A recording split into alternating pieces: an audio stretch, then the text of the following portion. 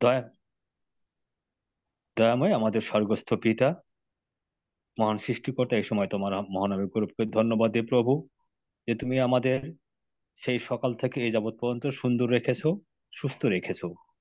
আমাদের যা কিছু প্রয়োজন তা তুমি জুগিয়ে দিয়েছ এবং প্রচুর আশীর্বাদ করেছ প্রভু। এই সময় প্রভু আমরা তোমার সেই মহানামের ধন্যবাদ প্রভু যে তুমি আমাদের একটি সুন্দর সুযোগ করে দিয়েছ। এই বাইবেল স্টাডির মাধ্যমে যেন তোমার বাক্য নিয়ে আমরা ধ্যান করতে পারি এবং তোমাকে আমরা যেন আবার গভীরভাবে জানতে পারি প্রভু। আমরা যতজন এই স্টাডিতে অংশগ্রহণ করছি, যারা করতে পারিনি প্রত্যেকে তুমি আশীর্বাদ করো। আমরা যেন সুন্দরভাবে আমাদের সেই তোমার বাক্য নিয়ে আমরা আলোচনা করতে পারি এবং যিনি এই বাক্য পরিবেশন করবেন, তাকে তুমি আশীর্বাদ করো। আমরা যারা শ্রোতা রয়েছি আমরা যারা অংশগ্রহণ করছি প্রত্যেককে তুমি আশীর্বাদ করো প্রথম থেকে শেষ পর্যন্ত আমাদের প্রত্যেককে তুমি জ্ঞান বুদ্ধির দুয়ার খুলে দাও আমরা যেন সেটা সুন্দরভাবে বুঝতে পারি এই ধন্যবাদ প্রার্থনা যিশু তোমার নামে চাই amen May I ask uh, Pastor Brother Rajesh, could you please lead us in uh, worship? Yes, brother. Yes, brother.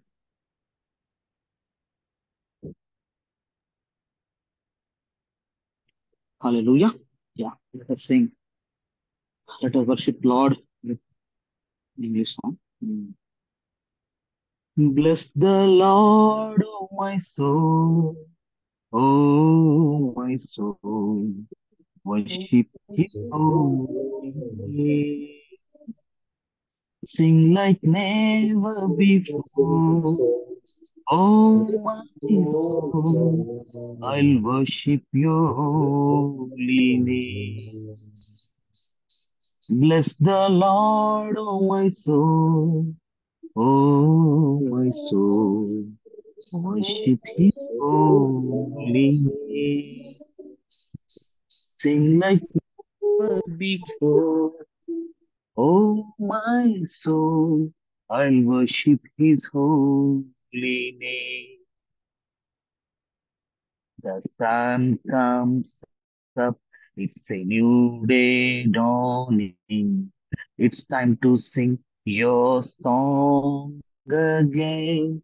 Whatever may pass and whatever lies before me. Let me be singing when the evening comes.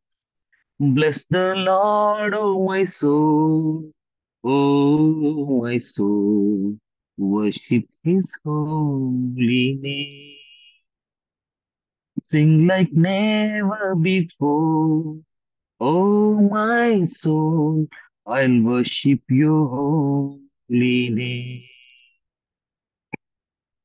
You're rich in love and you slow to anger. Your name is great and your heart is kind. For all your goodness, I will keep on singing. Ten thousand reasons for my heart to find. Bless the Lord, oh my soul. Oh, my soul, worship his holy name. Sing like never before. Oh, my soul, I'll worship your holy name. And on that day when my strength is failing, the end draws near and my time has come. Still my soul will praise unending. Ten thousand years and then forevermore. Bless the Lord, oh my soul. Oh, my soul. Worship his holy name. Sing like never before. Oh, my soul, I'll worship your holy name. Sing like never before. Oh, my soul, I'll worship your holy name. Hallelujah. Hallelujah.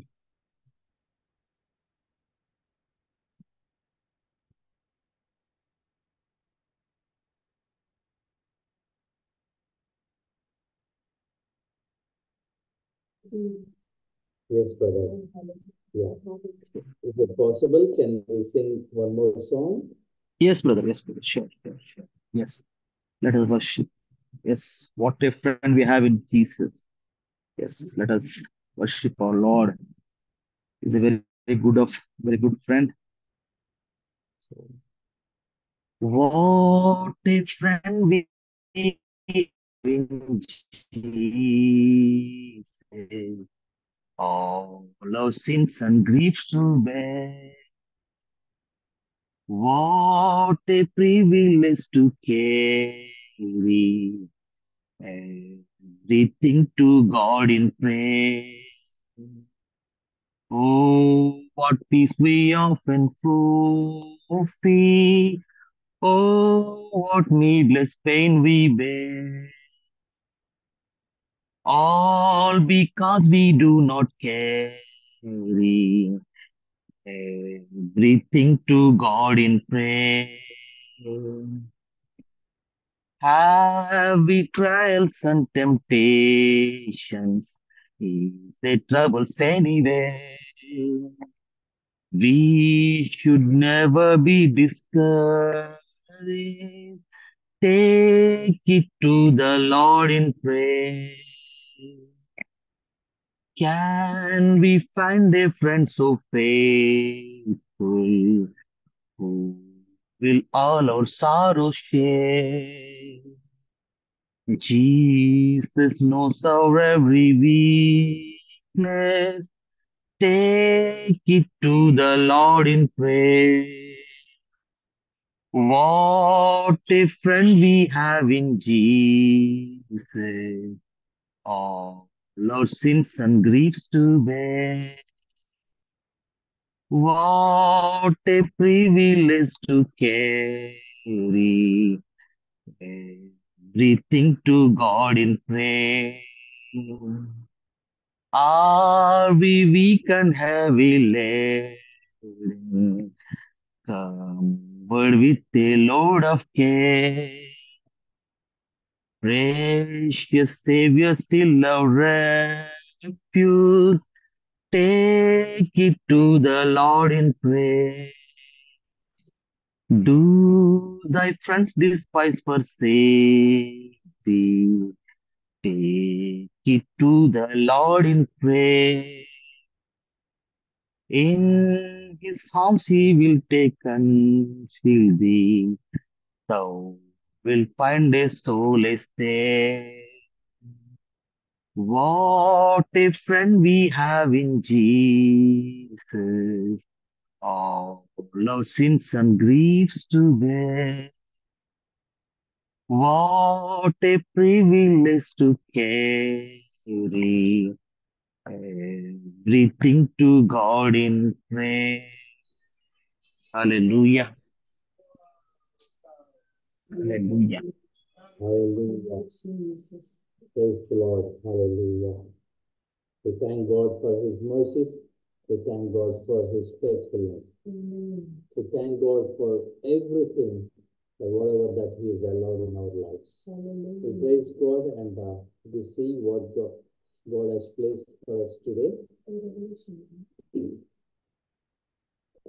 Father, we thank you, Lord. We thank you as we come to your gracious throne, my Lord. Speak to each one of us. Father, reveal thy ways to us, Father. As you are speaking, my Lord, help us to understand your ways. Open our ears and heart to understand your ways. Lord, lead us and guide us. Holy Spirit, God, we surrender this time into your mighty hand. Help us. All the glory and honor we commit to you. In Jesus' name we pray. Amen. Amen. As we see, we've been meditating on the book of Revelation, and by the grace of God, we could able to cover the first two chapters. in the first two chapters, we have seen the stature of Jesus Christ, how he has introduced himself to the churches. And we also have seen the revelation that uh, Jesus wants to give it to his servants because he loves them. Because for every church, there is a message from God. And uh, God also is mentioning that the messengers or angels of the church as a lightning or shining stars. We know that the shining stars, they will shine in the darkness. And we have seen from Daniel chapter 12, verse 20, those who lead many in righteousness will shine like the stars in the heavens. And uh, that's also one kind of uh, uh, symbolically God was mentioning about it. And we see in Revelation many times, many places, that number seven is being mentioned. And uh, what is the importance of this number? You can see the seven number also, uh, it tells about uh, the completion. And symbolically, it's a complete or a perfect number. And we see from the creation, the seventh day, God has completed his work and he rested. So that's also about the number seven. And as we have seen uh, from chapter two, we went through different churches like Church of Ephesus, Church of Smyrna, Church of Pergamos, Church of Thyatira, and uh, now we are looking at the third church, third chapter, Church of Sardis. We have meditated that for every church, the revelation of Jesus Christ is like unique. For one church, it says like, I have a, I'm the one who is holding the seven stars in my hand. And I'm the one who is walking in the midst of seven lamps. And for another church, it says like the one who is having a double-edged sword is going to speak to you and I will fight with, fight with you with my sword. Because the revelation of Jesus and the uh, the situation or the status of the spiritual status of the church, you can see this kind of a link between these two. And uh, as we see the church of Smyrna, he has, uh, church of Pergamos, he has revealed himself as uh, the one who is having a double-edged sword, sharp double-edged sword. And uh, we can also see what is sharp double-edged sword. In Hebrews, we can see that the word of God is like a sharp double-edged sword that can penetrate through our body and spirit and reveals the thoughts. And he says that if they don't repent, I will come and I'll fight with you this word. And uh, we have meditated that in this church, what is being, what was, uh, what was the deficiency? The deficiency was uh, they're good, they're good in everything, or they're good in many things, uh, but the foundational, the foundation in the Word of God was deficient. So God was revealing Himself as a Word of God to them. Mm. And word also we have seen for the church of Thyatira. The church of Thyatira, he revealed himself as a, the one who is a consuming fire. The consuming fire also represents the purification for the holiness. And in this church, Jesus was exhorting them for their deeds. And uh, about uh, one prophetess who is filled with the Spirit of Jezebel and uh, who is leading many people to be astray, or to go astray from the way of the Lord. And this, the Spirit was there in this church for, for some time, and it produced offsprings also. Mm. So Jesus Christ said that I will come And if they don't repent, and there is a process of uh, taking them, taking a person into true repentance. And he says, like, I will, I will make her, uh, make uh, sick And, uh, on a bed of sickness. Yeah. Back on a bed of a bed of sickness. And uh, all the offsprings of this spirit, I will kill them. And uh, you know, for every church, along with the appreciation, along with exhortation, there is a promise is being given. Jesus is promising them that those who overcome, they will receive something. For somebody, it's like a, a hidden manna. Mm. For somebody, it's a uh, crown, crown of life. For somebody, it is a, a white stone. So, but there is some reward waiting. Mm. That's what uh, even we can see from the book of Revelation and the other gospel, other epistles too. There is a reward for all the acts for that one is doing on this earth. Mm. So now we let's look at uh, the church of Sardis. So uh, can somebody read uh, from verse one to five or one to six? From one to six. And unto the angel of church in Sardis write, Yeah. These things saith he that hath the seven spirits of God and the seven stars. I know thy works, and that thou hast a name that thou livest, but not art dead. Be watchful and strengthen the things which remain that are ready to die, for I have not found any works perfect before God. Remember therefore how thou hast received and heard, and hold fast and repent.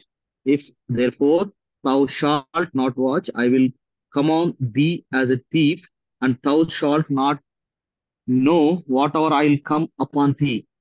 Thou hast a few named even in Sardis who have not defiled their garments, and they shall walk with me in white, for they are worthy. He that overcomes, uh, the same shall be clothed in white raiment, and I will not blot out his name from the book of life, but I will confess his name before my Father and before his angels. Amen. Okay. Uh, give me a minute. Is my voice audible to everybody? Yes. Is it, is it uh, clear? Is it audible enough? Yes. For me, it is okay. Okay. Okay. Um, so we, here for to this church, the revelation of Jesus Christ, he said that I'm the one who's having seven stars and seven spirits, and he is speaking. And one good thing here we can observe to every church, Jesus wants to speak. There is no church that Jesus does not want to speak because he is the author and finisher of the faith. And uh, he says, like, he wants to speak to the church, and he says, the one who is having seven stars and seven spirits. When, when we kind of meditate about the stars, we see uh, not all the stars have the same glory. Can we turn our books to First Corinthians chapter 15, verse 41?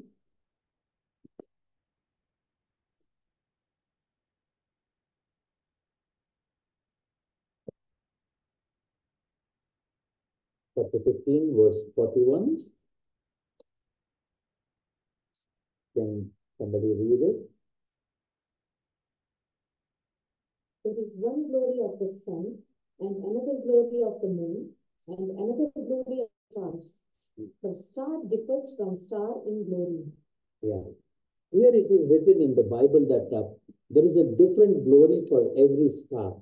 In fact, after so many years, even the scientists are now, uh, they are like attesting this truth. They say that in the galaxies, there are different stars, but uh, one star, it is like, uh, they, it will emit a different color, and another star will emit a different color. Not all the stars emitting the same color.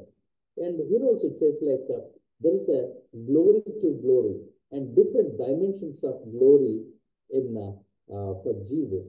And also as we refer to the uh, Revelation chapter 1, verse 20, we see these seven stars represent seven churches or the angels of the churches.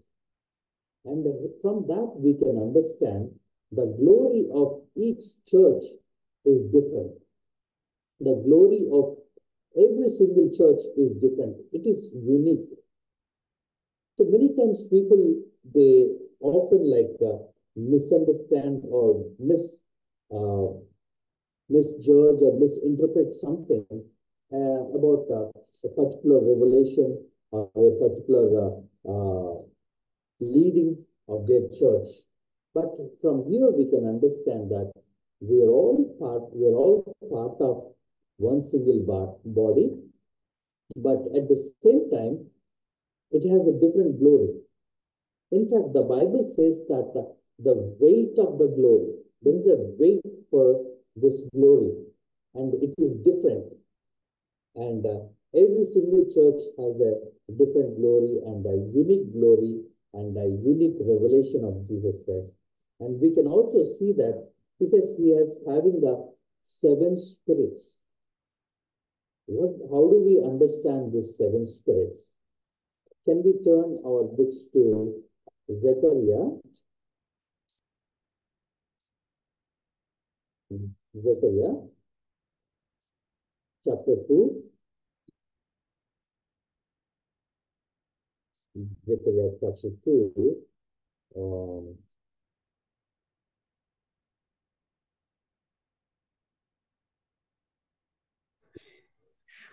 chapter 4, chapter 4, verse 2. What you are looking at, what you are looking at, Zechariah. And he says, like, I saw here seven lamps and connected to one stand. Connected to one stand. And these seven lamps are there and connected to one single stand and we can see that these seven lamps represent seven spirits of God. Many places we can see that. And uh, uh, chapter Revelation chapter 1, verse 20 also we can see there is a lampstand with seven lamps. Mm. And uh, Revelation chapter 3, verse 1 also we can see there are lampstands with yeah seven stars and seven, seven lamps. And we can also see chapter 4, Revelation chapter 4, verse 5. Can someone read chapter 4, verse 5? Revelation chapter 4, verse 5. And out of the throne proceeded lightnings and thunderings and voices and there are seven lamps of fire burning before the throne, which are the seven spirits of God. Yeah, seven spirits of God. And Revelation chapter 5, verse 6 also.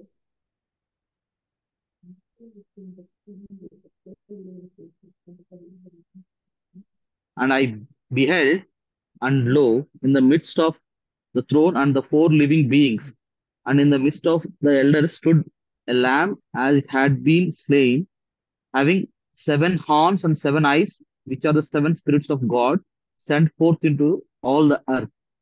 Yeah. Here, many places, like you can see that from the scripture, there are seven spirits of God. In fact, they are not uh, different spirits, but they are, we can understand that it's a complete seven dimensions or seven folds of uh, the Spirit of God, seven folds of the Spirit of God, or seven facets of Spirit of God. How do we understand that? Where do we find these? What are these seven spirits? What are these seven spirits? And uh, one illustration from the Bible scholars, they say the seven spirits are also mentioned in Bible. Can we turn our books to Isaiah chapter 11, verse 2? Isaiah chapter 11, verse 2, it says like the seven spirits of God.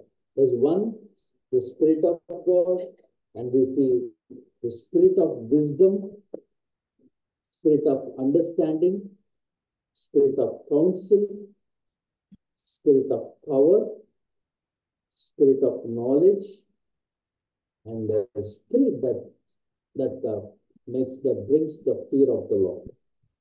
There are seven poles of the spirit uh, ministry of spirit of God.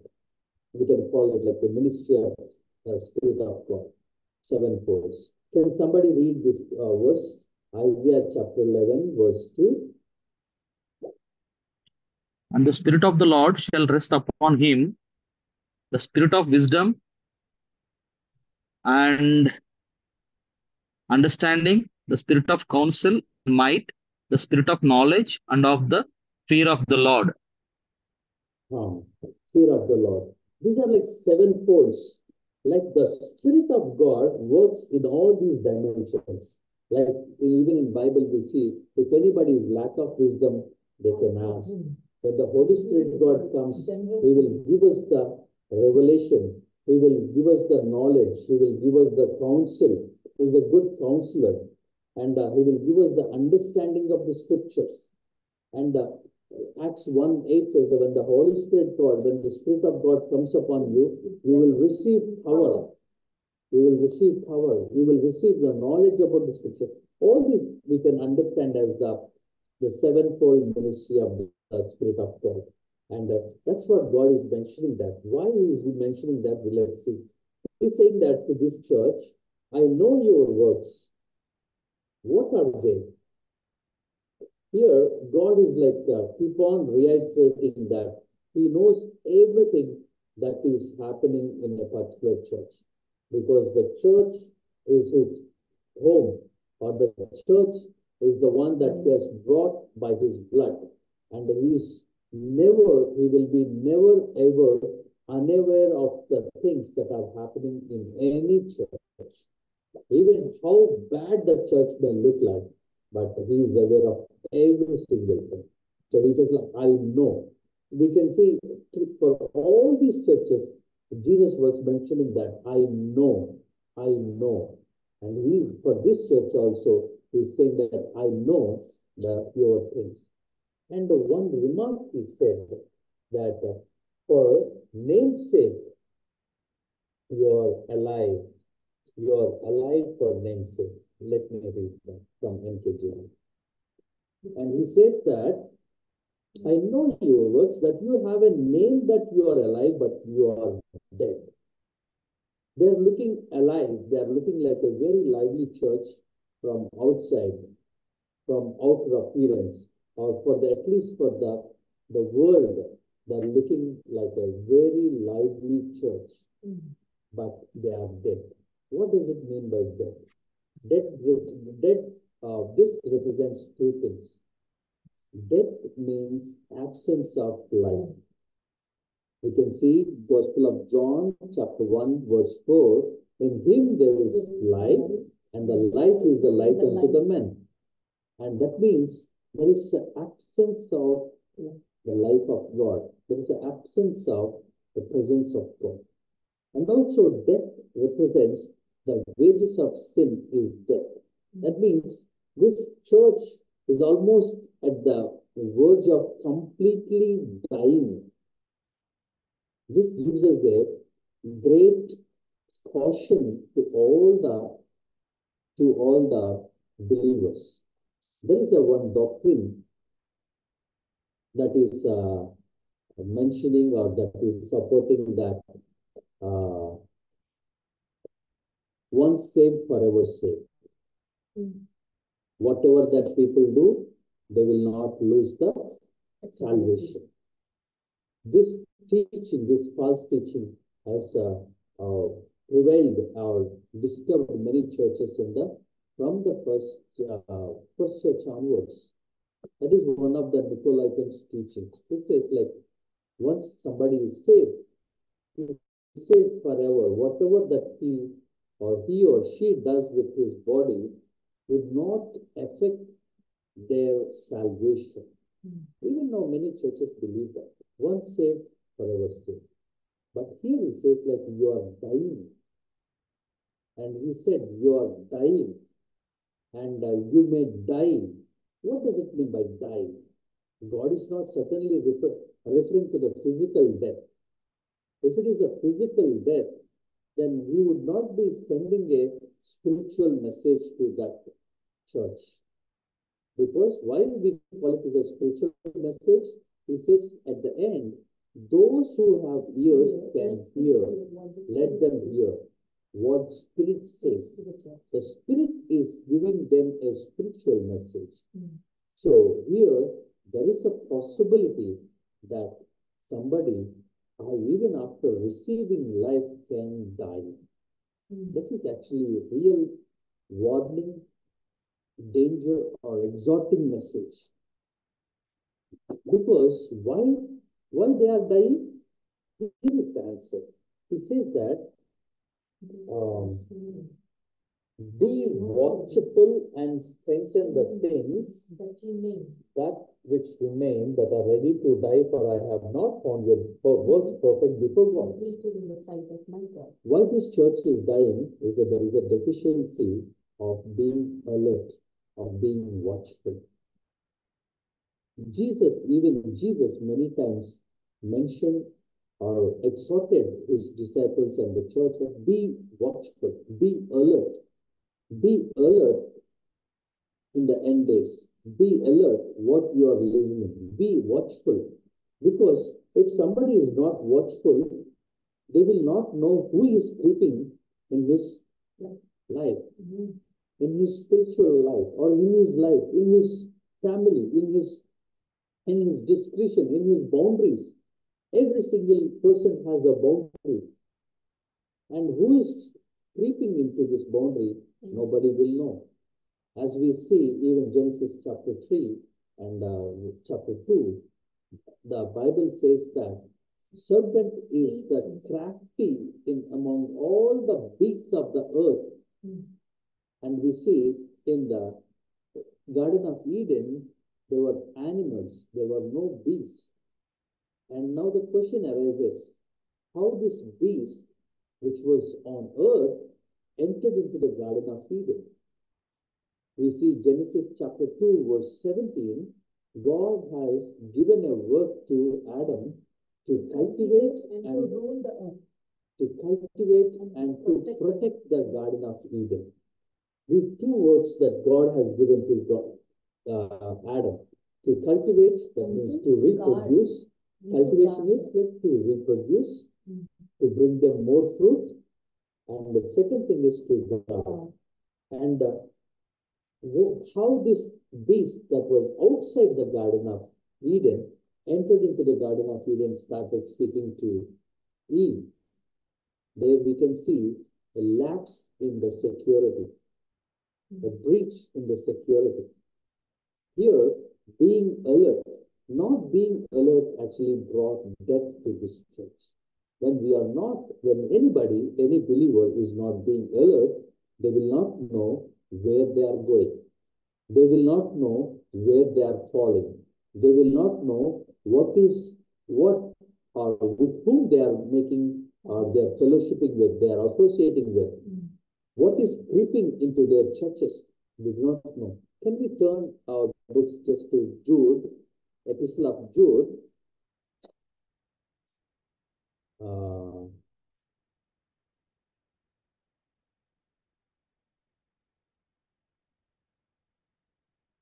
verse 4. For certain persons have crept in unnoticed, For certain persons have crept in unnoticed into this church. those who were long beforehand uh, marked out for this condemnation. Yeah. Ungodly persons who turn the grace of our God into licentious and deny our only Master and Lord Jesus Christ. Amen. Amen. Here, eh, they are mentioning about the few people who just have crept, who just have crept into the church unnoticed. Secretly, they are they have crept into this church, and they these people, this group of people, they have taken grace for licentiousness, for the sin. And this is also that is happening even here. And because the church was not watchful, Mm. they are dying. And this gives us a great alarming exhortation to that. If somebody is not watchful of their own salvation, somebody do not work out their own salvation, can go astray from God. And their deeds are like they're becoming dead works. And here he's saying that uh, there are some works which are about to die. So strengthen those which are about to die. There are like some things which are just about to die, just uh, on the say we can say on a ventilator or something like that. Mm. That also gives us the nature of Jesus Christ. Can we turn our books to Isaiah chapter 42, verse 3? Isaiah chapter 42, verse 3 says, It's the nature of Jesus that he will not let go things. He will not let I mean, there was a small fire and it was just about to put off, but uh, he's not just going to wipe it off or he's not going to break this. Uh, A bruised reed yeah, he will not break, and a dimly burning wick he will not extinguish. a bruised reed he will not break. It is a bruised reed, but he will not, he's not going to break it further. Or something like a wig, which is having a small light, he's not going to put it off. It's the same thing, he's not going to uh, stop that. It's also the same thing that he's saying that they are having some small light that is about to die. He's hmm. saying that is now you strengthen. How do they strengthen that? He's saying that what is the problem? He, he says in the verse 3, how you have heard, remember it, repent, and follow it. You can see, remember therefore how you have received and heard, hold hmm. fast and repent. If therefore you will not wake up, I will come like a thief, and you will not know at what hour I will come upon you. Yes, we can see James chapter 1, verse 22. James chapter 1, verse 22 says that, do not be just be the listeners of the word, but be the doers of the word. That's been missing in this church, we can say. He says like whatever that you have heard, you have listened, act accordingly. You're neglecting that, and that brought death on, on you. That's the church of Sardis. Jesus Christ is telling them. Here also we can learn a lesson. Somebody knowing a lot about the scripture or Bible cannot guarantee him from falling in sin. The knowledge of the scripture cannot guarantee him from falling in the sin. What can guarantee him? Being obedient to that word can stop him from falling in the sin. That's what is missing. That is what uh, deficient in this church that uh, they are good listeners of the word. They have heard about the message. They have heard. They have heard this, and but what is missing is they are not following. They are not obedient to it. And he says like, if you are not watchful, I will come to you like a thief, and you will not know on which hour that I will come to you. Mm. This is also very strong, strong word from Jesus Christ. If he comes on a day, an unexpected day, like a thief, and it will be like a judgment. Mm. How can we see? In Bible, there are two occasions God said, let's go and find out. Where did he say? Genesis chapter 11, when the men are building the Babel, God said, let's go and find out. Let's go and see. Let's go and see. And uh, even the, in the case of Sodom and Gomorrah, there also God said, let's go and see. And uh, when it comes to that, is actually it's kind of a judgment has come upon them. That's why "The- I will come on an hour, an unexpected hour. And because they are they're not watchful, it is like a hour of peace. Amen. But for those who are watchful, it will never be like an hour of peace. His coming will not be in an hour of peace. Can we turn our books to First Thessalonians chapter 5? First Thessalonians chapter 5, uh, verse 4 to 8, verse 4 to 7, or we can read 8 also. But. But if any widow has children or grandchildren, let them first learn to practice. No, no, First Thessalonians Oh, chapter sorry. 5.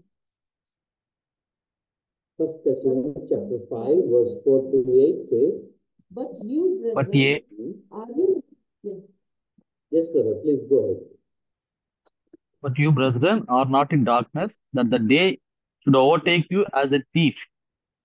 You are all the children of light and the children of the day. We are not of the night nor of darkness. Therefore, let us not sleep as do others, but let us watch and be sober. For those who sleep, sleep in the night, and those who are drunken are drunken in the night. But let us who are of the day be sober, putting on the breastplate of faith and love, and for a helmet the hope of salvation. Here, those who are in the darkness, those who are in the night, is saying that it will, for them, the day of the Lord will be like a day of the thief, like hour thief. For those who are in the light, it will not be like that because they are watchful. They know, they know what is happening around. Even we can refer to Matthew chapter 25.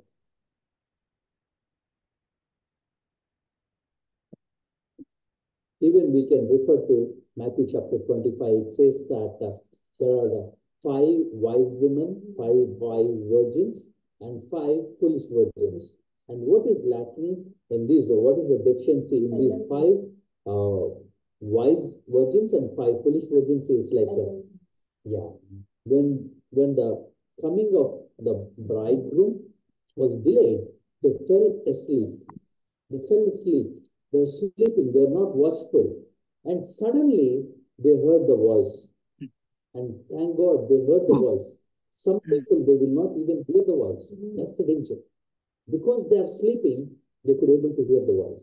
If somebody is dead, they will not be able to hear the voice. The dead will not hear the voice. The, the dead may hear the voice for the their resurrection and for the judgment.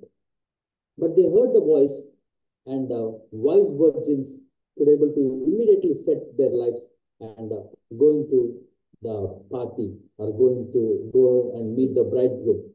But the foolish virgins, they were trying to set their light, they set their lamps, but they found that oil was missing. The preparation was missing. They were not prepared enough to have this oil. So Jesus Christ was also exhorting this church that uh, be watchful.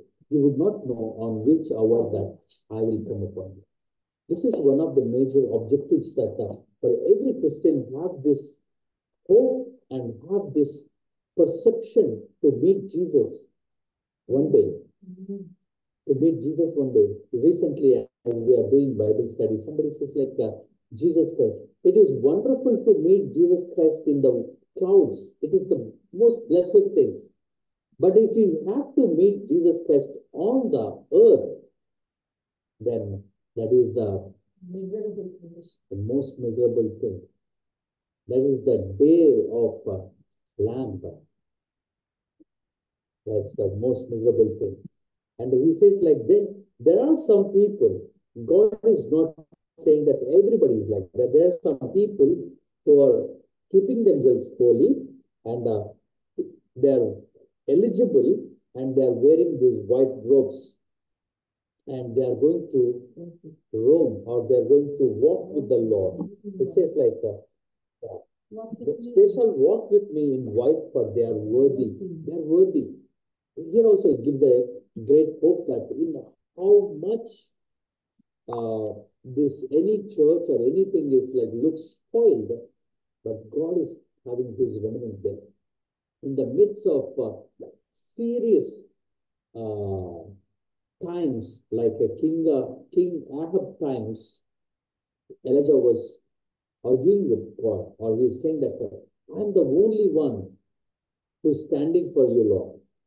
But thank God, Jesus, Lord said that I have 7,000 people I have saved for them. I have saved them for me. That's the remnant. Even in this church, there are there is a remnant. We praise God for that. And these people are worthy and they are wearing the white robes. What does it mean by white robes?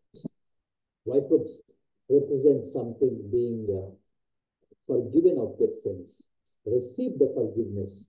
We can remember Isaiah chapter 2, verse 18, 18 and 19.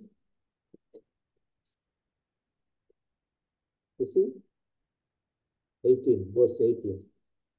Isaiah chapter 2, verse 18.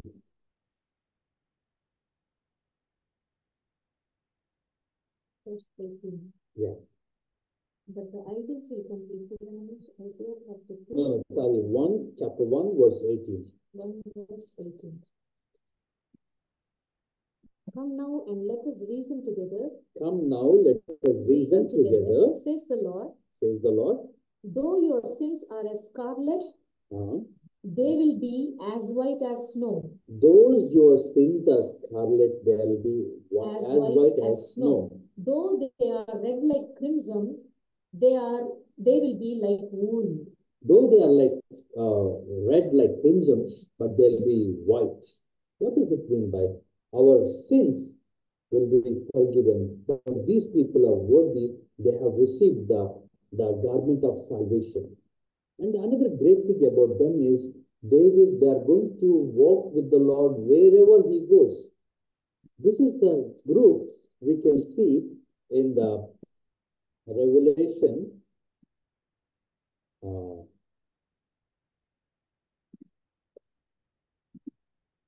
chapter 14, chapter 14, verse 4 and 5. Chapter 14, verse 4 and 5. These are the ones who have not been defiled with women, for they have kept themselves chaste. These are the ones who follow the Lamb wherever he goes. These are the people who follow the Lamb wherever he goes. These have been These purchased are the first fruit of the among men as among the first men. fruit They are of the God. first fruit. You To see the- that it's a great news. Even from the church of Sardis, the church, the church looks like a dead church. Mm. Even from this, there is a group remnant who are like to be a first fruit. And we can also see chapter 7, Revelation chapter 7, chapter 7, verse 9. After these things I looked, and behold, a great multitude, which no one could count, from every nation and all tribes and peoples and tongues, standing before the throne and before the Lamb, clothed in white robes, and palm branches were in their hands. And we can also read the verse 14, 13 and 14. Revelation chapter 7, verse 13 and 14. And, and one of the elders answered, saying to me, These who are clothed in the white robes, who are they?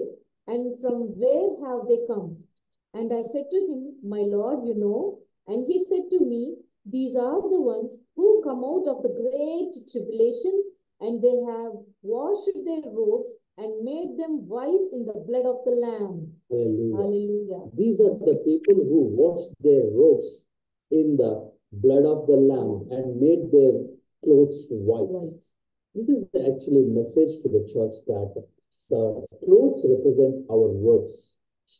Bible says that our good works are like a rags before the Lord. They're like a dirty, filthy rags before Lord. And these rags or these clothes should be washed so that it will become white. And these lights, they are washed in the blood of lambs and they got white clothes. Many times we see even Christian circles, people wear white clothes as a symbolic, symbolically that uh, they are living or they are like washed their clothes, the blood of the lamb. That is wonderful. But this white is, is going to stand forever. And uh, this is the, are people in this Sardis who are having this. And now the most scariest part we can read here. Chapter, uh, Revelation chapter 3, verse 5. He who overcomes shall thus be clothed in white garments, and I will not erase his name from the book of life. And I will confess his name before my Father and before his angels. Amen. Here we Amen. see that he is saying that I will not wipe out his name from the book Book of of life. life. That means there is a chance that God can wipe out anyone's name from the book of life. We also can see from the Gospels when the, uh, the disciples were sent to do some ministry when Jesus was there, they have returned back and they were giving the report and saying that they were happy. And they said, like, Lord, in your name, even the demons are trembling, even the evil spirits are trembling. Jesus said, Do not be so happy for that. Just be happy that your names are written In the book of in the book of life. Because to for the names to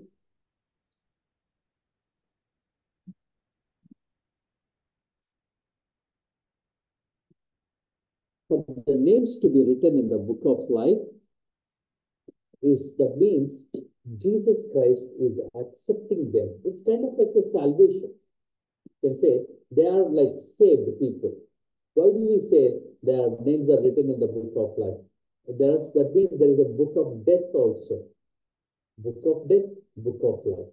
Those names written in the book of life and those names written in the book of death. And somebody's name can be wiped out from the book of life when they are not watchful, when they are not uh, obeying to the word of God, what they are, what they've heard, and when they are living a life which is on their own will, there's a danger that their name can be wiped out from the book of life. As we see, we were uh, uh, meditating or we were discussing about the doctrine. One doctrine is like once saved, for our saved. Once somebody is saved, forever saved. I personally do not so much believe in this doctrine because Bible scripture there's also says that God cannot be mocked. What you sow, that's what you reap. If somebody sows in flesh, he will reap the corruption. Bible says, when somebody sows in the spirit, he will reap the life. When mm-hmm. somebody sows in the flesh, he will reap the corruption. When somebody is living as they wanted, just because once some years back he has accepted Jesus Christ, that is not going to save him in eternity. And also here Jesus Christ is mentioned that I will, I will, oh, what is it? I will confess his name I will confess his name before my Father and and before before his his angels. This also Jesus Christ that when he was on earth. He says, like whoever is not objectionable or whoever ready to accept his name before people, before humans, and uh, he said, I will also accept him before my Father and before angels. It's exactly the thing that Jesus Christ is referring here. That means this remnant group were not shied away or were not stepped back from accepting Jesus Christ in front of all people. They were not shied away from saying that I'm a Christian. I belong to Jesus Christ. They were not shied away of that. So, as a return, Jesus Christ is saying that I will also confess that I know him. Jesus Christ also said to two people, I do not know them. Do you see? Matthew chapter 7, verse 21. Matthew chapter 25. To some certain group of people, he said, I will not know them. I do not know them. That's what the response from Jesus Christ. And here he is assuring them that I will confess about them before Father and all the angels that I know them, they are my people. And he takes them in. And uh, this is about the church of Sardis. And we see uh, verse 7 to verse 13 is about Philadelphia church. The church of Philadelphia. Can uh, somebody read chapter 7, uh, verse 7 to 13?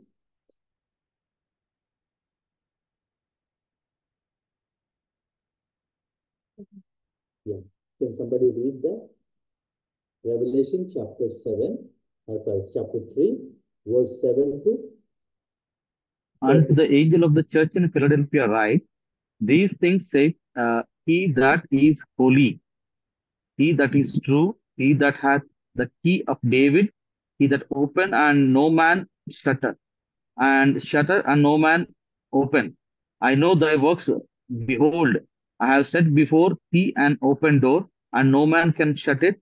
For thou hast a little strength, and hast kept my word, and hast not denied my name.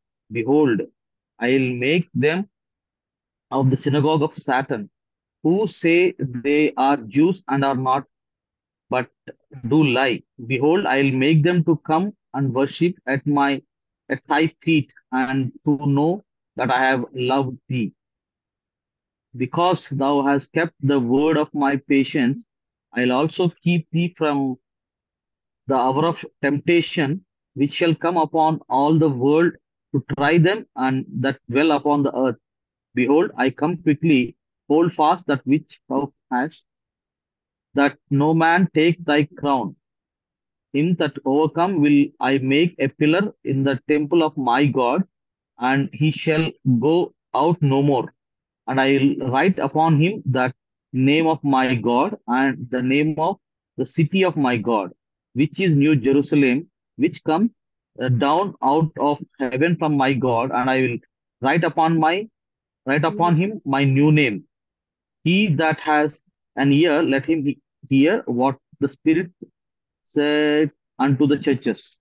Here we can see the here the, the revelation of Jesus Christ is like the one who is having the key of David and who can open that no one can shut and who can shut that no one can open. And he is also revealing that he is a holy one. He is a truthful one. And uh, he says, you can see, uh, he who is holy that's the revelation. And uh, what we can see uh, some similarities between Church of Philadelphia and Church of Smyrna. See, Jesus Christ did not mention about any deficiency in these churches.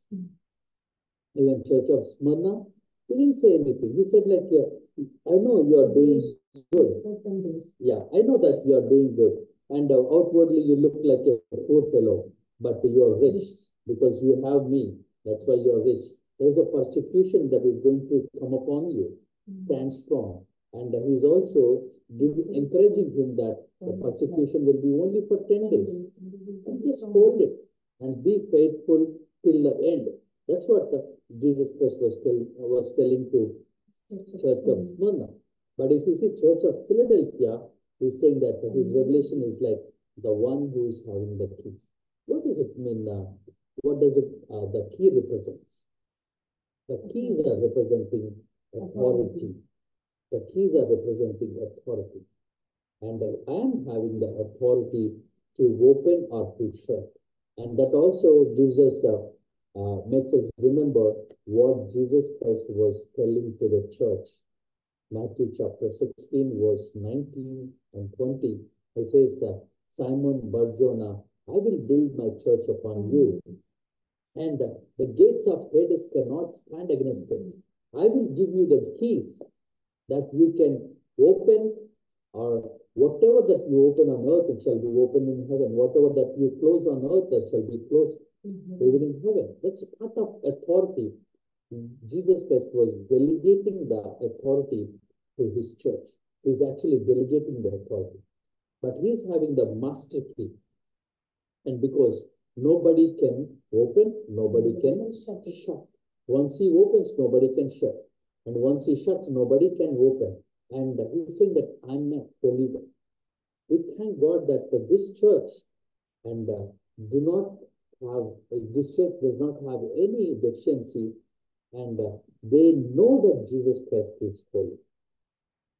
Because even to Abraham, it says like, Abraham, Genesis chapter 17, in the first five verses, we can see, Abraham, I am holy, be holy as I am holy. Even Peter was writing that in his epistles, that Jesus, that Lord has said that be holy as I am holy. This church has kind of a truly hold on to this revelation that they have not defiled themselves, they have kept themselves pure. That's what even John writes in his epistles. Can we turn our books to uh, First John chapter 3, verse 3. And everyone who has the fixed on him purifies himself just as he is pure. Uh, anybody who is having this hope will keep him, keep himself pure or holy as he is pure. Why he says like as he is pure, as holy. Why is like that? Because the standard of holiness is not the societal standard, is not an individual standard. Because in a society, for example, uh, some years back, what is being considered as a big mistake or big sin, now that is not being considered as a big sin nowadays. You see, once upon a time, even like 20, 30 years back, somebody is being an alcoholic is considered to be like a very big thing. But now, the, almost it is a social norm. Every single person is saying, well, that's not a big thing. It's it's okay. And you can't call somebody who's who is an alcoholic as a sinner according to the present standards if you say that. That's the standard now. And maybe the things may can go even worse in the coming future. That's why the standard is not any individual standard. The standard is not any society standard. The standard is not any uh, country or nation standard. Because in some nations, what is being called as a sin is not considered as a sin in another nation. So that's not the standard. The standard is the standard of God. That's why he said, as he is holy, as he is pure, somebody wants to be holy like that. That is according to the word of God. So we praise God that this church is actually has the revelation that, that Jesus is holy. And he says that I know that your works, your strength is very little, but you have received the word and you have Patience, my perseverance. perseverance. What does it mean by perseverance? This is like uh, you're not, you, you have really shown the perseverance. How can, where this perseverance comes? Can we turn our books to Romans chapter 5, verse 4? Chapter 5, verse 4. Romans chapter 5, verse 4.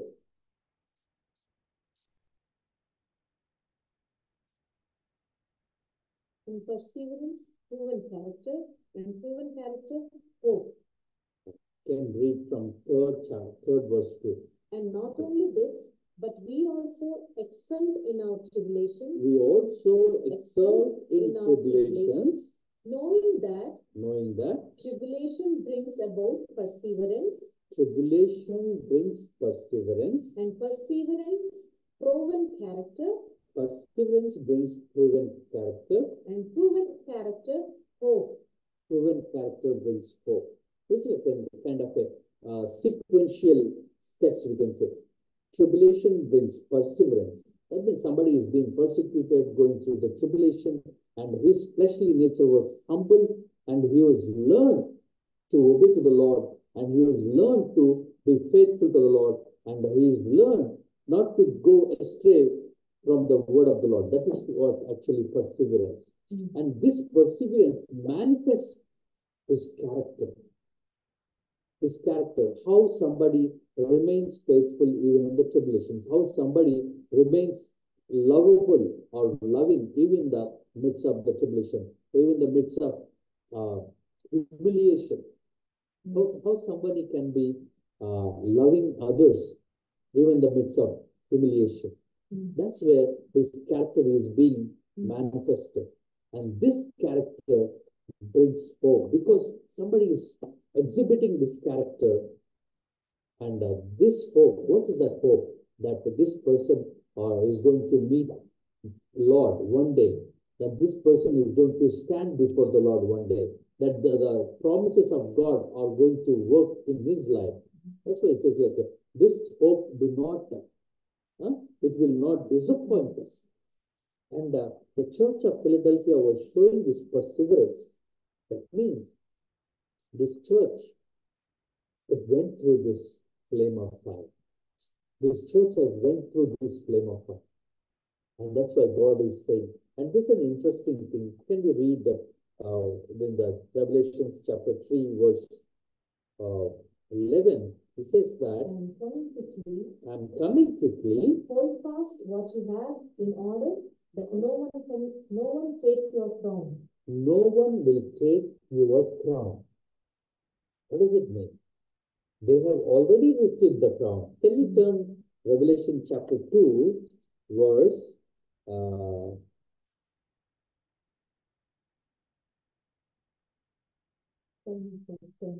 yeah, verse 10. And I will give you.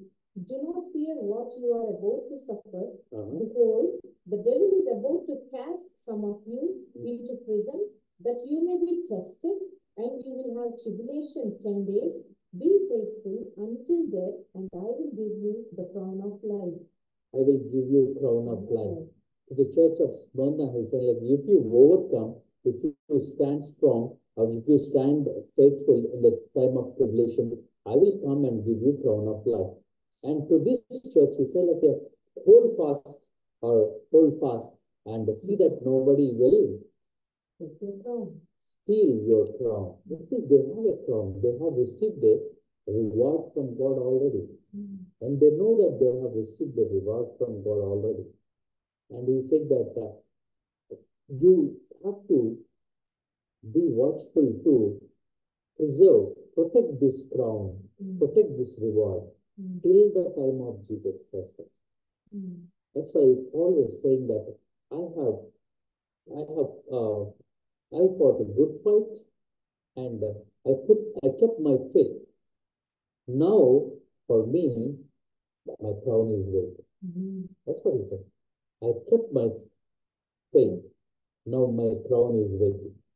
Because uh, even the church of Philadelphia also, Jesus Christ is saying that uh, I'm going to, uh, I'm going to come quickly. That's a, a comfort message. He's actually comforting them. You went through a lot of tribulation. You went through a lot of tough times. Now I'm going to come quickly.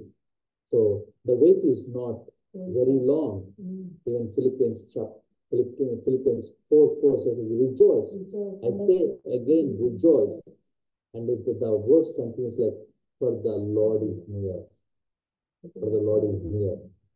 And that is a comforting message to the church. And he says, like, uh, there's one interesting thing that he says, he's telling them, I have opened a door before you that nobody can shut it. God has opened a door. That is kind of a invitation. If you open a door, that's kind of an invitation so that they can come inside. They can come into the uh, kingdom of God or can come into the uh, the palace of God or the temple of God, whatever. That could be a, another opportunity for them. And uh, here it is interesting thing is there is a uh, the synagogue of Satan. They are like a Jews, but they are they're not are- Jews. but They have lied that they are Jews. That means they have lied that they are believers, but they are not believers. They are in fact the synagogue of Satan. That means synagogue, why, why Jesus mentioned that synagogue of? Synagogue means the worshippers of Satan, where the worship is happening. These people, they worship Satan. They are actually the worshippers of Satan, hmm. but they have crept hmm. into the churches. Hmm. And he said that I will make them fall before your feet. In English, it is also mentioned that I will Bow make down. them And bow down and to your feet, at your feet. At your, yeah, I will make them to become and bow down at your feet Ah. and to know that I have loved you. yeah. In another translation, it's also that I will make them come and worship before your feet and to know that I have loved you. And for them, God wants to make them know that He has loved them. Hallelujah. That means what?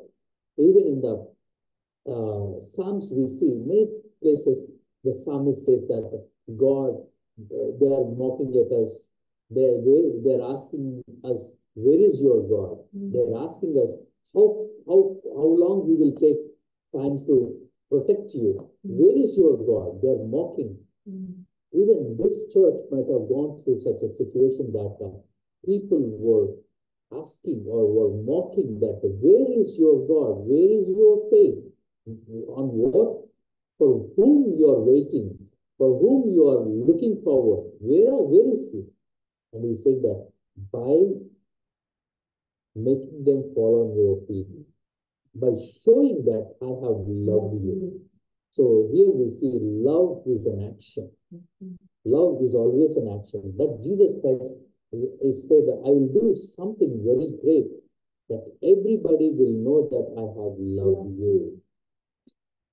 And uh, even from Gospel, Gospel of John, we, we get to know that loving, loving God is obeying to his commands. At the same time, if Jesus loves us, it's going to be a spectacle like it. As we John 3.16, God so loved the world that he has given his only begotten son.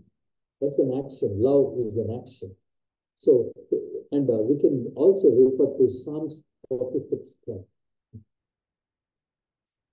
Be still and know that I am God. I will be exalted among the heathen. He said, I will be exalted among the heathen. I will exalt my name among the heathen. How, how would he exalt his name among the heathen? That he is going to do something very spectacular.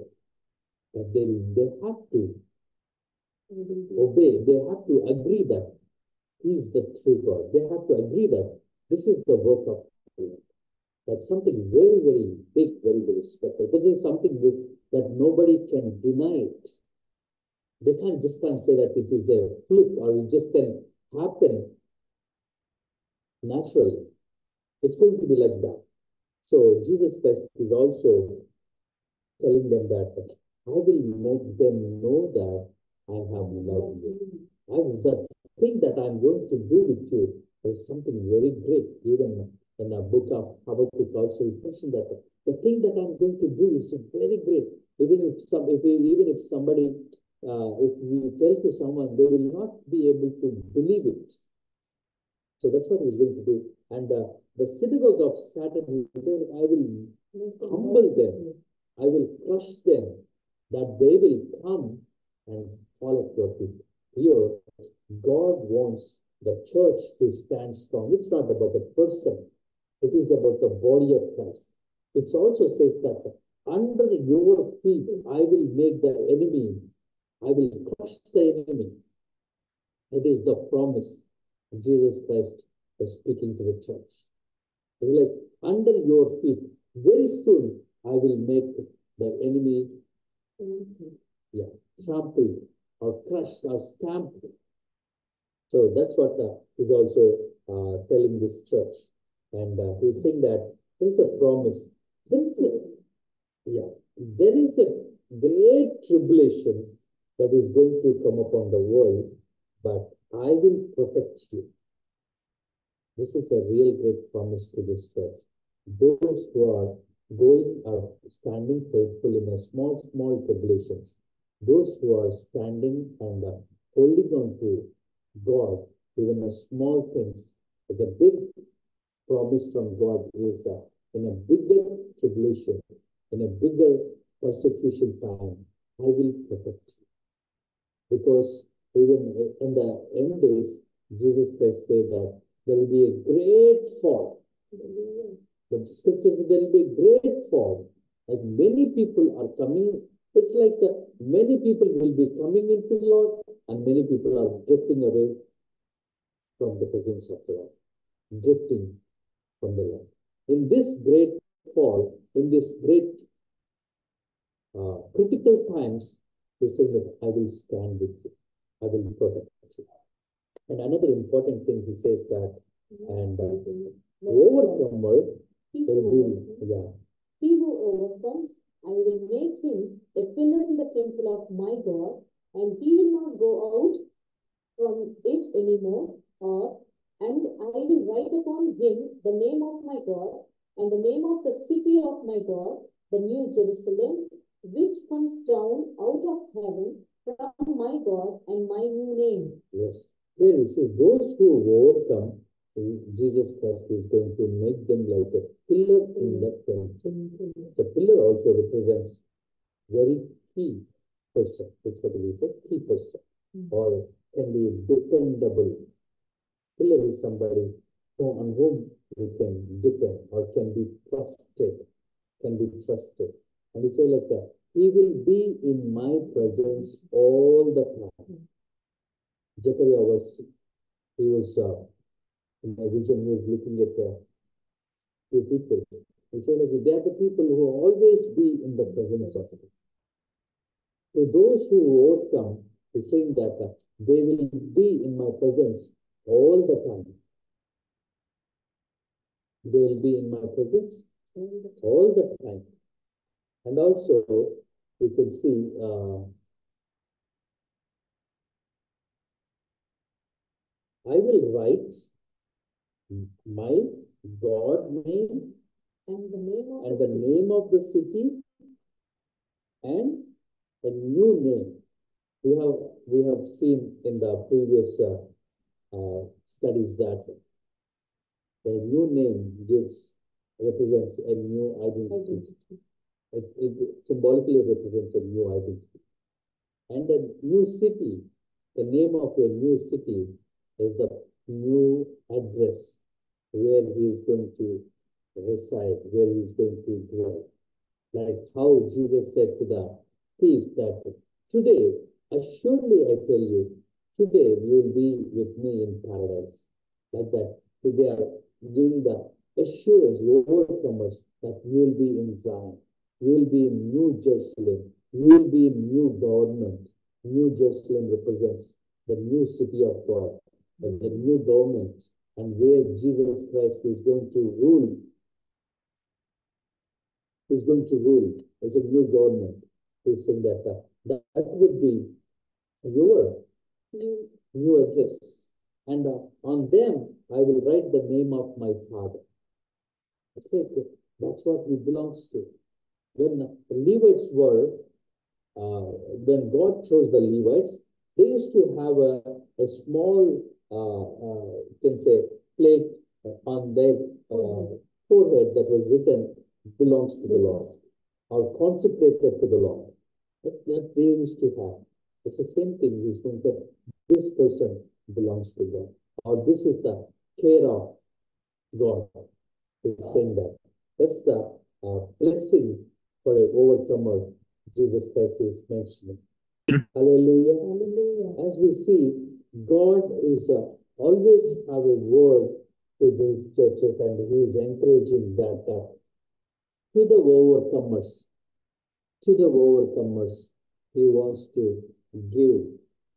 And is it only for Philadelphia? Is it only for Smyrna? Is it only for Ephesus? No, it is for every overcomer and different. Uh, the people, those who overcome different situations, they have a different reward. Mm. Like uh, how we see, maybe we can see like uh, those who win a boxing match, the title is different. And those who won in an athletic or a 400 relay, uh, this thing, here also is a winner, there is also is a winner. But the rewards are different.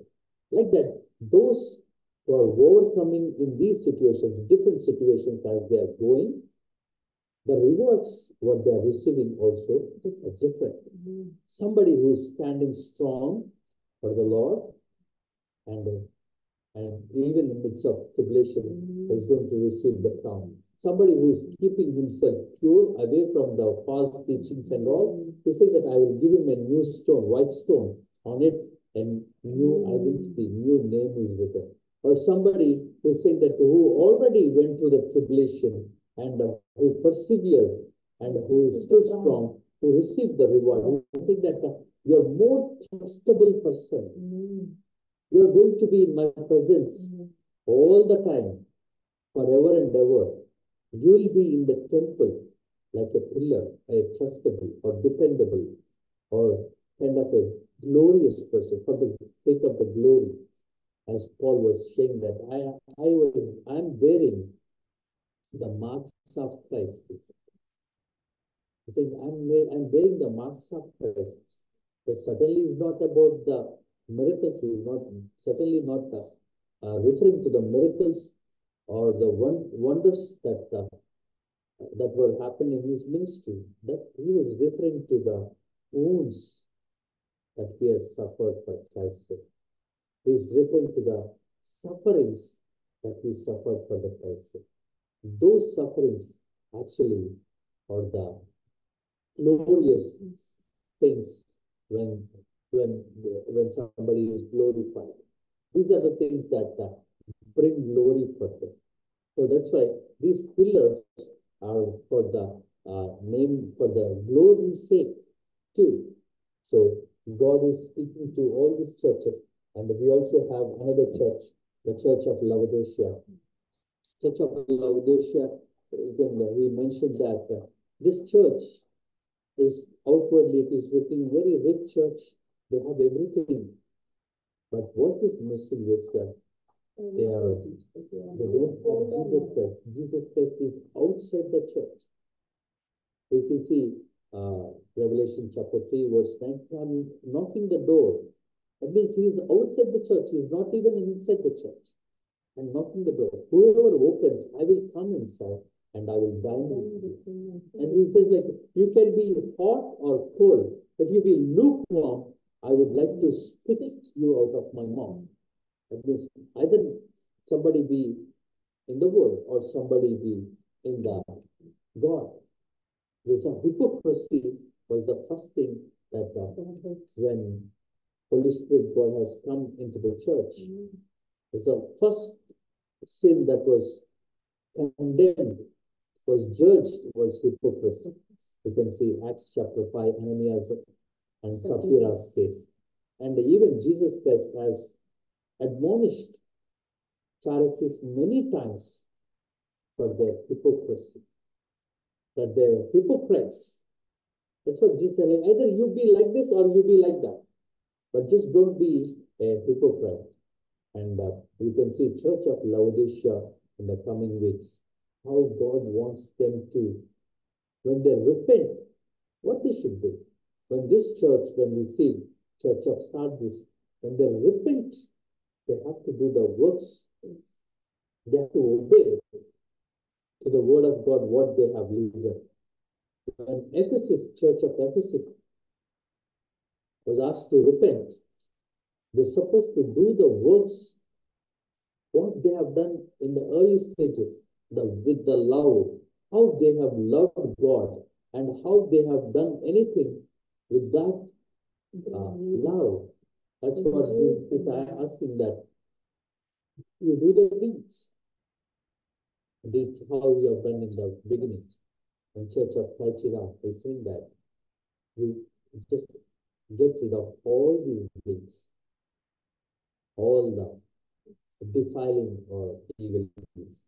So immorality and uh, May God bless this word and make it fruitful in our hearts and bring it a hundredfold fruit. And uh, we thank God for this time. We thank, we thank God that He is able to always, as a, as a plan for every individual, as a plan. We praise God. Thank you. Amen. Thank you so much. Uh, thank you, everybody. Thank you for joining. And uh, may I request Pastor Rhoda, can you pray the uh, final prayer?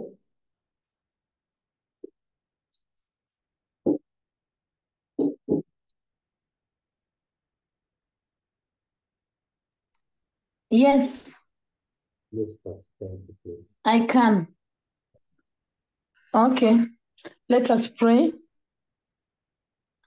Our dear loving Father, we thank you.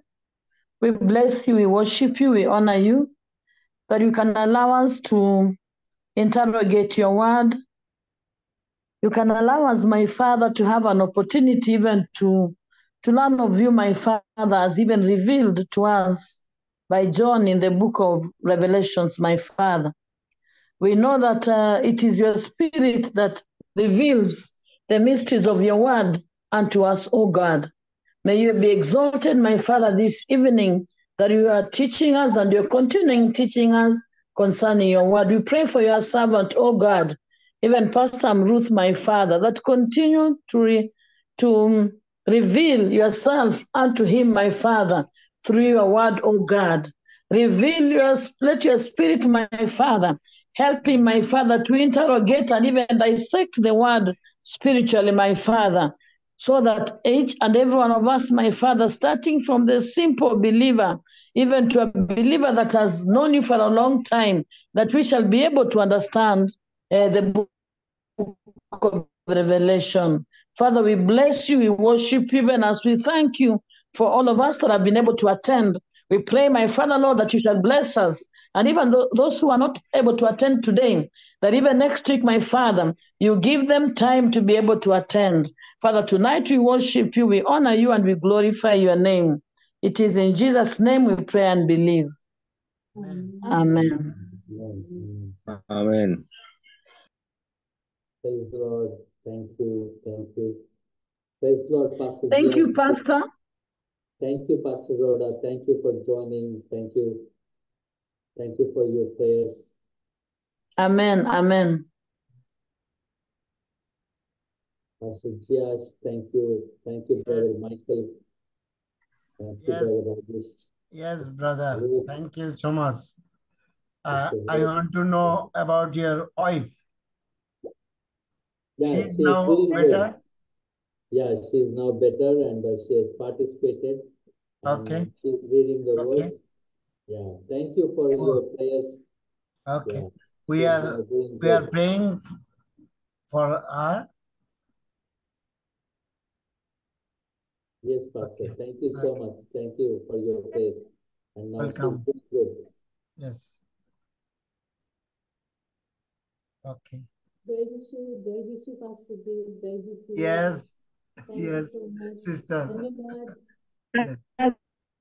Jai Jishu. Praise the Lord, Pastor Rhoda. Thank you. Praise the Lord, everyone. Thank you so much for praying Yes. for my health. Thank you. Thank you, each and everyone.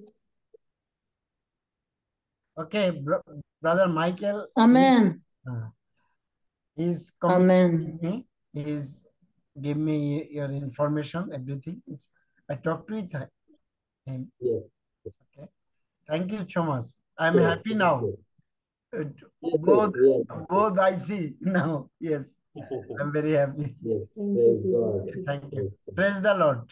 Praise the Lord. Thank you, Pastor. Thank you. Okay.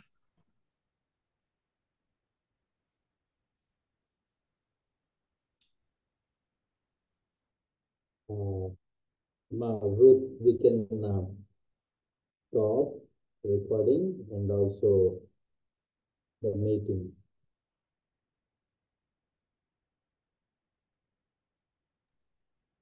Praise Lord, brother. Praise Lord, brother. Praise Lord. How are you? చాలా రోజుల తర్వాత I just came అవును Praise God, praise God. ఎలా ఉన్నారు ఎలా జరుగుతుంది అంత బాగుంది వస్తున్నారు గుంటూరా లేదు లేదు brother. నేపాల్లో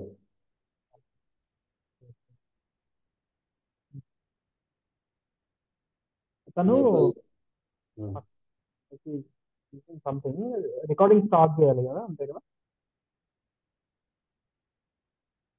అర్థం కాలేదు నాకు Powering on. You wanted the recording to be stopped, right? That's it, right? yeah yeah we can stop the recording Okay okay. అందరు బాగున్నారు కదా? How is church in Nepal yes yes అందరూ బాగున్నారు. నేపాల్లో మంచిగా జరుగుతుంది దేవుని కృపలో. గోయింగ్ గుడ్ ఒక చర్చ్ ఓవర్సీ చేస్తున్నాం. ఓకే దేవుడు కూడా మంచిగా అక్కడ మినిస్ట్రీ జరుగుతుంది. అండ్ టీచింగ్ మినిస్ట్రీ జరుగుతుంది. లిటరేచర్ మినిస్ట్రీ జరుగుతుంది బుక్స్ రిలీజ్ చేశాము. ఆ, ఇంకా జరగబోతున్నాయి. కమింగ్ మంత్లో ఒక ఒక బుక్ రిలీజ్ చేయడానికి ప్లాన్ చేసుకుంటున్నాం. లిటరేచర్ మినిస్ట్రీ జరుగుతూ ఉంది. Really it was it is it is blessing brother your book అది practicing the presence of Telugu my. Aunt roots mother is reading it. Yes, he was sharing the information, uh, sharing the testimony. చెప్తా చదివారు. అని చెప్పి మొన్ననే చాలా దేవునికి చాలా మేమందరం కలిసి స్థుతి చెల్లించాం ఎంకరేజ్ చేయబడ్డాం దాని వల్ల కూడా ఆ సాక్ష్యం వల్ల కూడా. అట్లానే ఇంకొక ప్రజెంట్ దేవుని చిత్తమైతే త్వరలో ఒక టూ బుక్స్ ఉన్నాయి. ఏసు మాత్రమే ఎందుకని కంప్లీట్ అయినవి. ఏసు మాత్రమే ఎందుకు? ఐదు వందల స్థితులు. సో ఇవి ఇక్కడ నేపాలీలో ట్రాన్స్లేట్ చేస్తున్నాం. అయిపోయింది. ఒక ఐదు వందల స్థితులు అయితే నేపాలీలో ట్రాన్స్లేషన్ అయిపోయింది. ఏసు మాత్రమే ఎందుకు అవ్వాలి? దేవుని కృపలో బైబిల్ ట్రైనింగ్ జరుగుతున్నాయి. లిటరేచర్ మినిస్ట్రీ జరుగుతుంది చర్చ్ మినిస్ట్రీ జరుగుతుంది ఇట్లా దేవుని నడిపిస్తా ఉన్నారు praise God praise God brother ఎప్పుడు వస్తున్నారు ఇండియా మీరు ఎలా ఉన్నారు ఇండియానా చూడాలి వీలైతే ఈ ఎలక్షన్ కి వచ్చి ఓటేసి వెళ్దాం అనుకుంటున్నాం యా చూడాలి. యూ షుడ్ కమ్ ఇక. ఇంకా ఓట్ రాయించుకొని ఓట్ రాయించుకొని ఈసారి ఉమ్, హైదరాబాద్ వస్తే రండి. We we by God's grace we had a new home yes praise God praise God. Congratulations. ఎక్కడ తీసుకున్నారు బ్రదర్ ఇక్కడ కిరణ్ అన్న వాళ్ళు కొత్తగా ఉంటున్నారు తెలుసా మీకు? పక్కనే పక్కనే. వాళ్ళు just walkable distance to that home definitely రండి. గుడ్ చాలా సంతోషం. తప్పకుండా ఓకే ఓకే బ్రదర్ మరి అడిగాను చెప్పండి షూర్ షూర్ షూర్ అందరిని అడిగాను.